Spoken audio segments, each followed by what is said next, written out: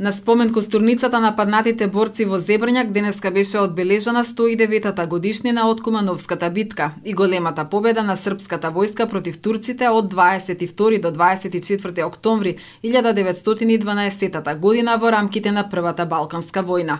Порака и повик за помасовна посетеност и оддавање почит на предците, упати Миодра Капор, представник на владата на Република Србија, посочувајќи дека токму еден од приоритетите на нивната држава е развивање и продлабочување на добрососедските односи на политички, економски, културен план.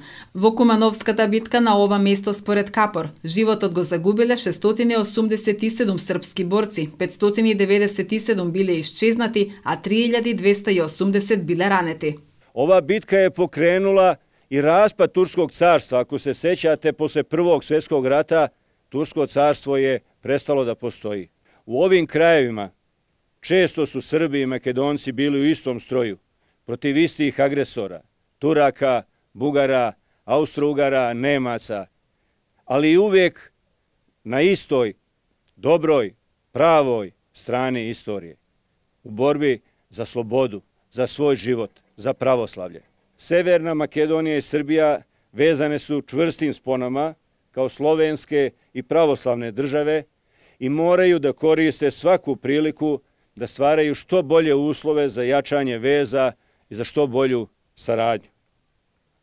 Makedonska nacionalna zajednica u Srbiji i Srpska nacionalna zajednica u Makedoniji su jedna od tih važnih spona i stvaranjem uslova za što bolji život Makedonaca u Srbiji i Srba u Severnoj Makedoniji, mi stvaramo uslove za jačanje odnosa, povezivanje celih država. Пред присутните се обрати и председателката на Српската заедница во Македонија Гордана Јовиќ Стојковска, а на манифестацијата присуствуваше и новата српска амбасадорка во Македонија Невена Јовановиќ. Свеченоста беше збогатена со музички точки и рецитали од членови на културно-уметничкото друштво Српски вес. Кумановска битка е една од најзначајних bitaka i najvećenih boja koji je srpski narod zajedno sa svim drugim narodima koji su živjeli na ovim prostorima izvojevao.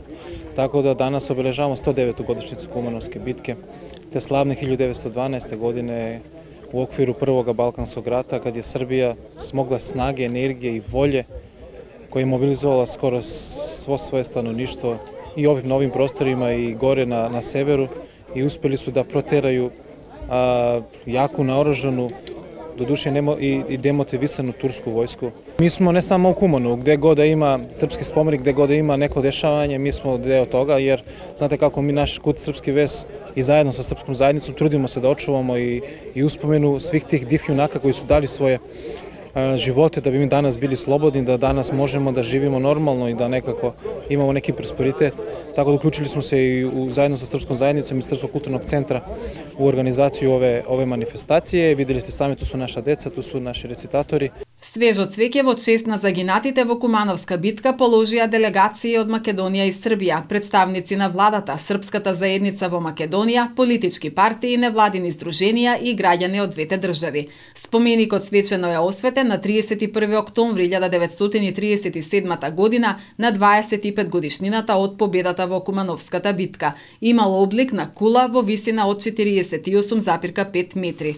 Монументалниот споменик во Зебрња кај Куманово е урнат на почетокот на Втората светска војна.